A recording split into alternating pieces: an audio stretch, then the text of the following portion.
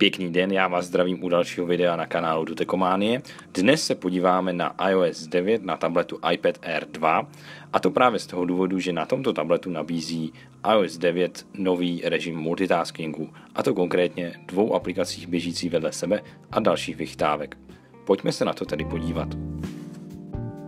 První režim multitaskingu se jmenuje Slide Over a je k dispozici na všech iPadech s procesorem A7 a novější. Režim slide over se aktivuje tažením z pravého boku a posléze, pokud chceme přepnout na jinou aplikaci, stačí před prstem z hora a zobrazí se nám nabídka dostupných aplikací. V současné době jsou zde zatím jen aplikace od Apple. V budoucnu však přibydou určitě i aplikace třetích stran.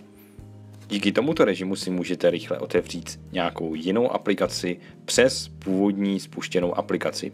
Bohužel tu předchozí nemůžete v tuto chvíli ovládat a jedná se opravdu jen o dočasné překrytí. Takto zobrazená aplikace využívá rozložení prvků z iPhoneu. Další režim se jmenuje Split View a jedná se již o plnohodnotný multitasking dvou běžících aplikací vedle sebe. Ten se aktivuje stejně jako předtím, akorát posléze se zde objeví takový malý proužek, který když uchopíme a přetáhneme do prostřed displeje, tak se nám vytvoří právě dvě aplikace běžící vedle sebe v poměru 50 na 50. Aplikace opět zde využívají rozhraní iPhoneu, vidíme to typicky na Safari, které normálně vypadá na iPadu jinak. Pokud lištu trošku popotáhneme víc doprava, můžeme také vytvořit plnohodnotný multitasking, přičemž jedna aplikace bude zabírat zhruba dvě třetiny a druhá jednu třetinu, jak to vidíme právě nyní. Obě aplikace jsou ale zároveň aktivní a není to jako při režimu slide over.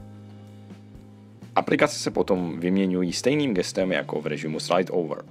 Bohužel zatím v tomto režimu nefunguje kopírování, že by člověk označil text v jednom okně a přitáhl ho do druhého. Je nutné využívat schránku a gesta pro kopírování.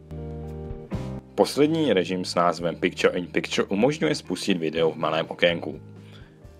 Toho docílíte buď stisknutím tlačítka v pravém dolním rohu, anebo jednoduše stačí přejít na plochu a video se samo otevře v malém okýnku. Toto okénko lze potom libovolně přesouvat, zvětšovat, zmenšovat. Video je pak vždycky na vrchu displeje, což znamená, že když si otevřeme například Safari, můžeme pohodlně číst nějakou stránku a do toho si pouštět video. Bohužel pro využití této funkce je nutná úprava aplikace a proto zatím toto funguje jen s aplikací filmy a například takové YouTube toto zatím nezvládne. Ale jedná se zatím jen o beta verzi, to se určitě do finální verze změní a vývojáři své aplikace přizpůsobí. V tomto režimu lze potom video pozastavit, zavřít anebo zvětšit. Já vám děkuji za pozornost, to by bylo všechno z tohoto krátkého pohledu na nový režim multitaskingu a budu se těšit u některého z dalších videí na viděnou.